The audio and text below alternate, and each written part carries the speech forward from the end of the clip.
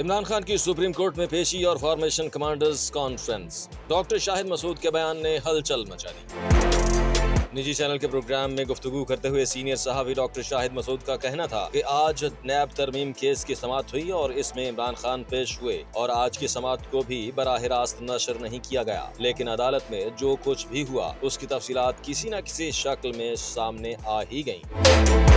Doctor Shahid Masood ने कहा कि दूसरी तरफ़ army chief general Asim Munir की जेर सदारत फॉर्मेशन कमांडर्स कॉन्फ्रेंस भी हुई है। इसमें बड़ी अहम बातें हुई हैं। एक तो अफगान सरहद से दोबारा दहशत गर्दी की बात हुई है और पिछली मीटिंग और इस मीटिंग के दरमियान दहशत गर्दी के वाकत पेश आए हैं और शहादतें भी हुई हैं तो इस पर भी यकीनन बात होगी। फिर वो जो प्रोपेगंडा हो रहा है, उस पर बात हुई। सोशल मीडिया के हवाले से बात हुई, कश्मीर का ज़िक्र हुआ और गजा का ज़िक्र हुआ और गजा के ज़िक्र के साथ साथ जो रफा ऑपरेशन है, इसमें आलमी अदालत इंसाफ के फैसले की हिमायत की गई और डिजिटल दहशत गर्दी का भी ज़िक्र हुआ, जब सोशल मीडिया का ज़िक्र हुआ।